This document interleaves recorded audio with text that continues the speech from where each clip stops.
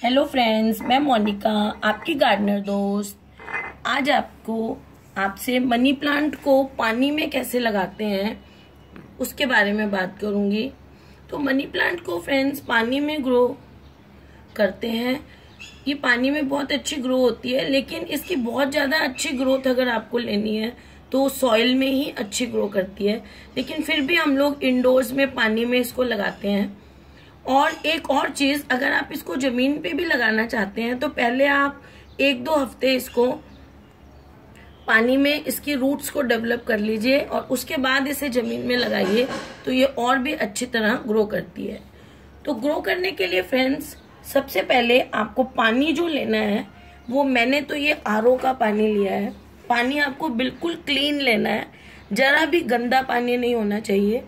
और कई बार सुबह सुबह जो गवर्नमेंट सप्लाई का पानी आता है, वो डायरेक्ट जब आ रहा होता है, वो पानी आप इसको ग्रो करने के लिए ना लें। इसलिए क्योंकि उसमें क्लोरीन वगैरह या ब्लीच वगैरह डला हुआ होता है, जो कि इसको नुकसान पहुँचा सकता है। तो अगर आप आर का पानी नहीं लेना चाहते हैं तो आप टैंकी का, टैंक वगैरह का ओवरहेड टैंक वगैरह का पानी ले सकते हैं। क्योंकि जो हमारा सप्लाई वाला पानी आता है, वो जब थोड़ी देर सेटल डाउन हो जाता है तो उसमें से क्लोरीन या ब्लीच का असर जो है वो कम हो जाता है। तो उसके बाद आप वो यूज़ कर सकते हैं। वैसे आप आरओ का पानी यूज़ करें, आजकल तो सब घरों में आरओ होता है तो वो बेस्ट है। तो एकदम क्लीन आप जिस बॉटल में लगाइए, वो भी क्लीन होनी चाहिए और पानी एकदम क्लीन लें आप। और उसके बाद हम जब कटिंग की बात करते हैं, ये देखिए। ये मैंने इतनी बड़ी कटिंग ली है। इसमें ये जहाँ से पत्तियाँ निकलती हैं, इसे नोड कहते हैं। ये जो जगह होती है, ये पत्तियों के निकलने की ब्रांच के निकलने की और रूट्स की, जो एडवेंटिशियस रूट्स होती हैं, छोटी सी जो अलग जगह से निकलती हैं, उनके लिए निकलने की ये बहुत अच्छी जगह होती है। अच्छी क्या मतलब यहीं से निकलती हैं वो। तो देखिए, ये छोटे छोटे रूट्स यहाँ से निकल भी रही हैं। आप लोग जानते होंगे मनी प्लांट में ये निकलती भी हैं। तो ऐसी कटिंग लीजिए, जिसमें कम से कम वन टू थ्री तीन तो नोड्स होनी ही चाहिए। ये ऊपर एक फोर्थ भी है। मिनिमम है ये। इतना तो आप स्टिक लीजिए। ये मिनिमम है जो मैंने लिया आपके लिए। थोड़ी लंबी भी ले सकते हैं, लेकिन आप बहुत ज़्यादा लंबी लेंगे तो फिर उसको थोड़ा सा डेवलप होने में प्रॉब्लम होगी, उसको इन लीव से मॉइस्चर लॉस भी होगा और सब है। तो आप इतनी ले लीजिए, इससे थोड़ी बड़ी पाँच या छह नोट वाली भी ले सकते हैं, पर मिनिमम इतनी आपको लेनी पड़ेगी। और उसमें फिर हम क्या करेंगे कि ये और आप स्टेम जो ट्विग लेंगे, वो ऐसी लेंगे, डंडे जो लेंगे, जिसमें सारे पत्ते हेल्दी हों। अब इसमें मेरे में सारे पत्ते हेल्दी हैं, बस ये आपको ये जो टिप दिख रही है ना ये ब्राउन ये इसलिए हो रही है कि अभी बारिश हुई है हमारे यहाँ बहुत ज़्यादा तो उससे थोड़ा सा ओवर वाटरिंग हो गई है मेरे गमले में, इसलिए ये थोड़ी टिप आपको ब्राउन दिख रही है। अदरवाइज़ आप देखिए ये बिल्कुल हेल्दी है। ऐसा हेल्दी आप लेंगे डंडी, और उसमें क्या करेंगे आप? और उसको लेंगे कैसे? ये देखिए प्लांट से जब इसको आपको काटना है, मैंने तो ये ले ली। लेकिन जब आप इसको प्लांट से काटेंगे तो कहाँ से काटेंगे, ये मैं बता रही हूँ। ये जो नोड है ना, अभी मैंने यहाँ से पत्ती काटी है, ये देखिए। ये जो नोड एरिया है, इसके जस्ट ऊपर से 45 डिग्री पे आप इसको काट लेंगे। और उससे पहले एक बात बताऊँ, जो आप ये कटर लेंगे, उसको आप ब्लीच जो होता है हाइड्रोजन पर या एल्कोहल उससे अच्छी तरह साफ़ कर लेंगे। ताकि अगर आपने किसी और प्लांट में इस, ऐसे में यूज़ इसको किया हुआ हो, जिसमें कोई इन्फेक्शन हो तो वो इन्फेक्शन इस, जो कटिंग है, इसमें नहीं आए। आपके पास और कुछ नहीं है तो आपके घर में जो लाइजोल आता है पोछे में लगाने वाला तो मॉपिंग के लिए जो लाइजोल यूज़ होता है, उससे भी आप इसको धो सकते हैं, वो भी बैक्टीरिया को किल कर देता है। आपने देख लिया कि मैंने इसको कहाँ से काटा? मैंने इसको काटा है, ये देखिए एक बार और। जहाँ से ये पत्ती निकलती है, ये देखिए, उसके जस्ट ऊपर से। बाकी कटिंग्स जैसे बोगनविलिया या जैस्मिन की जो हम काटते हैं, वो इस नोड से थोड़ा सा नीचे से काटते हैं। लेकिन इसको हमने नोड से थोड़ा सा ऊपर से काटा है। ये देखिए। अब हम क्या करेंगे? इससे ऊपर ऊपर का जो हिस्सा है, उसमें जितना हिस्सा हमें पानी के अंदर रखना है, उस हिस्से में पत्ती नहीं होनी चाहिए। क्योंकि पत्तियाँ जब अंदर जाएँगी तो वो गलेंगी और पानी को खराब करेंगी, उसमें बैक्टीरिया होगा और फिर पानी गंदा हो जाएगा तो प्लांट ग्रो नहीं करेगा। अब हमें इसको इस बॉटल में डालना है तो हम इस एक नोड को पानी के अंदर रखेंगे। आप दो भी रख सकते हैं, लेकिन एक ही रखें तो भी चलेगा काम। यहाँ से इस सारे पोर्शन से रूट्स निकल जाएँगी। यहाँ से रूट्स निकलेंगी और यहाँ से भी रूट्स निकलेंगी इस जगह से भी। तो अब आप, मैं इसको ये इतना अंदर डाल रही हूँ। तो देखिए, ये इसकी जो लीफ है, इसकी लीफ के कारण ये और अंदर नहीं जा रहा है और सिर्फ़ एक नोड अंदर है। ये देखिए, इतनी। अब आप ऐसे भी कर सकते हैं, जैसे आपने ये जो बॉटल ली है, इसका ढक्कन लेके और ढक्कन के अंदर एक होल कर दीजिए और उसमें से इसको अंदर डाल दीजिए तो यूँ सेंटर में रहेगी तो ये इसकी दीवारों को भी टच नहीं करेगी। ऐसे रहे तो सबसे अच्छा है। या आप एक छोटा सा थर्मोकोल का पीस लीजिए और उससे इसको ऐसे पैक कर दीजिए, ताकि ये बीच में मैं इसको अभी थर्मोकोल का लेके शायद पैक भी कर दूँ।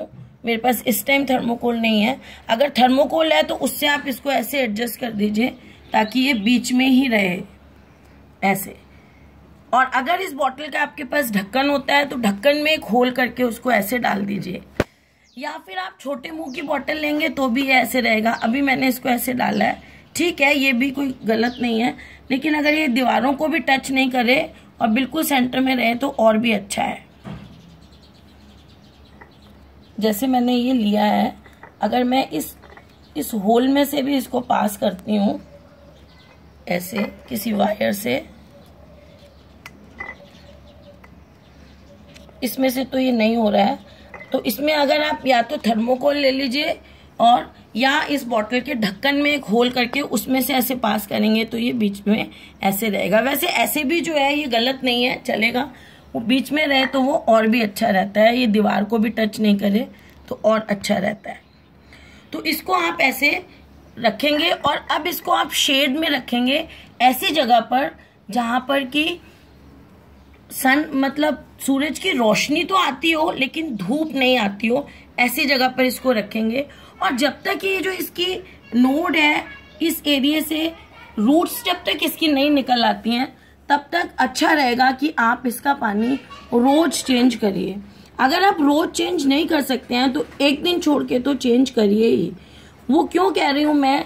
क्योंकि ये जो स्टेम है, जब तक इसकी रूट्स नहीं निकली हैं और हमने इसको ऐसे अंदर डाल दिया तो जब तक ये हमने इसको ऐसे अंदर डाला है तो ये रूट्स नहीं निकली हैं तो ये गलना शुरू होता है। इसका थोड़ा थोड़ा ये ये जो टिप वाला पोर्शन है, ये धीरे धीरे गलता रहता है। तो इसके गलने से जो बैक्टीरिया निकलते हैं, वो इस पानी को गंदा करते हैं। तो उससे ये सारा गलने का डर रहता है। तो कभी आपने देखा होगा कि आपने इसको लगाया और ये सारा हिस्सा आपका काला काला होना शुरू हो जाता है। वो इसलिए होता है कि ये टिप एक बार गलनी थोड़ी सी शुरू होगी और आप उसका पानी नहीं बदलेंगे तो धीरे धीरे धीरे धीरे ऊपर तक गलता चला जाएगा। तो इसको अवॉइड करने के लिए जब तक इसमें जड़ें नहीं निकल आती, जड़ निकलने के बाद तो इसका सिस्टम काम करना शुरू कर देगा और जड़ों से ये पानी लेना शुरू कर देगा और प्रॉपरली वर्क करेगा। जब तक इसमें जड़ें नहीं निकलती, तब तक आप इसका पानी रोज बदलें तो बहुत अच्छा रहेगा। मतलब अच्छा क्या रहेगा? आपको रोज बदलना चाहिए। नहीं तो रोटिंग होने से क्या होगा कि इसकी ये साड़ी स्टेम जो है वो गल जाएगा। और एक बार जब इसकी रूट्स निकल आती हैं फ्रेंड्स तो उसके बाद आप इस बॉटल में या किसी भी बॉटल में इस पानी के अंदर आप थोड़ा सा एनपीके डाल सकते हैं। जैसा मैं आपको बताती हूँ कि एक लीटर पानी में एक चम्मच एनपीके को डिसॉल्व करते हैं प्लांट्स को देने के लिए।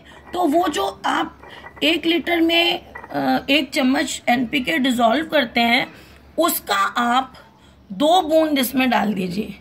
ओनली दो बूंद। पंद्रह बीस दिन में एक बार आप उसमें डालेंगे तो ये आपका प्लांट और भी बहुत अच्छा ग्रो करेगा। और दूसरी चीज़, एक लीटर पानी में एक पिंच एक चुटकी, एक लीटर पानी में एक चुटकी एनपीके डालकर हर दूसरे चौथे दिन इसकी पत्तियों पे। अगर आपके पास और दूसरी भी कोई मनी प्लांट है, मेरा एक मनी प्लांट का और वीडियो है, उसको भी आप देखिएगा। उसमें मैंने केयर ऑफ़ मनी प्लांट बताया है। तो मनी प्लांट जितने भी आपके पास हैं, उन पे आप एक लीटर पानी में एक पिंच एनपीके डाल के हर एक दिन छोड़ के या दो दिन छोड़ के आप हर तीसरे दिन उसमें उस पानी का छिड़काव करेंगे तो मनी प्लांट बहुत अच्छा ग्रो करता है। उसी पानी का आप दो तीन दिन में एक बार इस पर भी छिड़काव करते रहें तो आपके मनी प्लांट की कटिंग बहुत अच्छी ग्रो करेगी। एक चीज़ है मनी प्लांट हम लगाते हैं डेकोरेटिव अगर आप पानी में लगाते हैं तो ये बहुत ज़्यादा ग्रो नहीं करता है। बहुत ज़्यादा ग्रो करने के लिए इसको सॉइल में लगाना पड़ता है। तो अगर आपके इसमें बहुत अच्छी रूट्स वगैरह आ जाती हैं और आप उसको ज़मीन पे लगाना चाहते हैं तो इसी को आप ज़मीन में ट्रांसफ़र कर सकते हैं। ओके okay फ्रेंड्स मुझे लगता है मैंने आपको इसके बारे में सब कुछ बता दिया अगर आपको मेरा ये वीडियो अच्छा लगता है तो इसे लाइक करिएगा शेयर करिएगा और मेरे चैनल को सब्सक्राइब करिएगा। Thank you friends bye